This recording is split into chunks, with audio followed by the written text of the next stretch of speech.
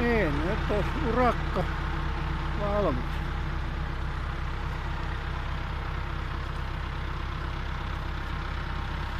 Siinä meni sellainen viitisen tuntiin noin.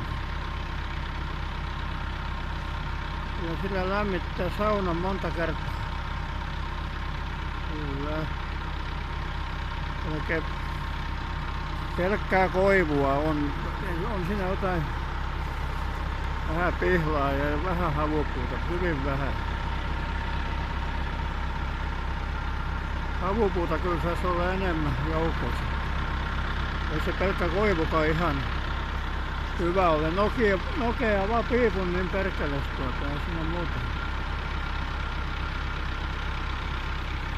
Jotkut sanot, pitää olla koivu, koivu, mutta ei se ihan niin, ei se ihan niinkään ota. Jotain laittaa joukkoon sit sekapuuta. On siinä ihan netti kasa.